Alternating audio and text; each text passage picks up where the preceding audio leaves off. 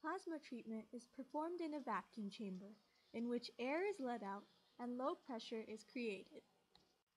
The vacuum takes out some air particles, leaving room for the leftover particles to accelerate. Added heat creates pressure, causing high particle acceleration. At striking voltage, particle collisions occur, resulting in plasma. Our device consists of a vacuum pump, a magnetron, a thermocouple vacuum gauge, a variac, a meter, and everything is contained within the microwave. Shown here is the schematic for our device.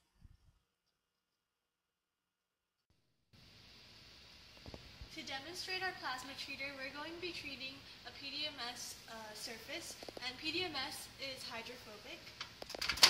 So first I'm going to place the PDMS on top of the two plates on the inside. Then I'm going to securely place the Pyrex container on top, right in the center. After that I'm going to turn on the thermocouple vacuum gauge and turn on the vacuum. And then wait about two minutes until the vacuum is under 100 millitorr.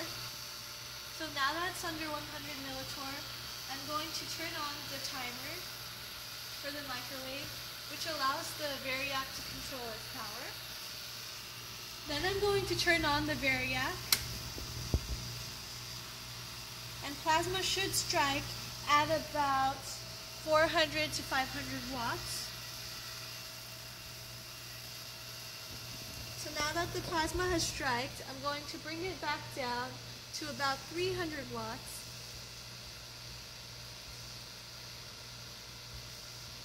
where the plasma barely kisses the surface.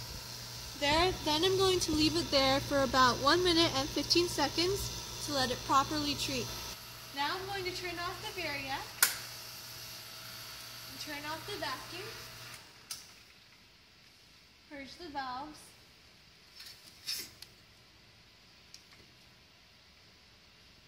and open the microwave.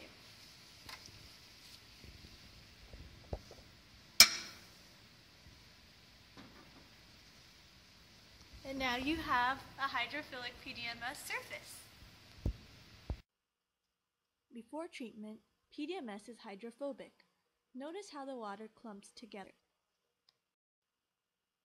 After the plasma treatment, it is hydrophilic. The water now spreads out evenly on the surface.